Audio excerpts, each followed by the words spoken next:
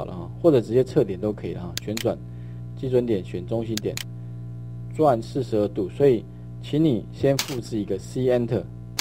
那因为是顺时针的，所以是负的，负的四十二 Enter，就转这边。再一样的方法，再一次四十二了。好，上面有个角度有没有？哦，考试这样就错了哈。好，再一个旋转，旋转的话基准点这里。然后 C Enter 角度多少？逆时针是正的，所以四十七点五 Enter 好。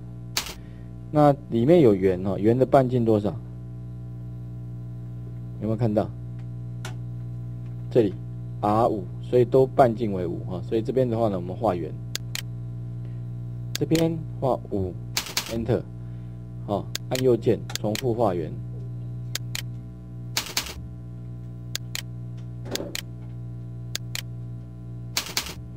然后呢，把这边三条线留。其实这个三也没有关系的，为什么？因为到时候这个中心点跟这个中心点也可以没关系。哎，这个修剪，修修，那这边的话呢，修剪修剪修剪啊，把这两个有没有近色？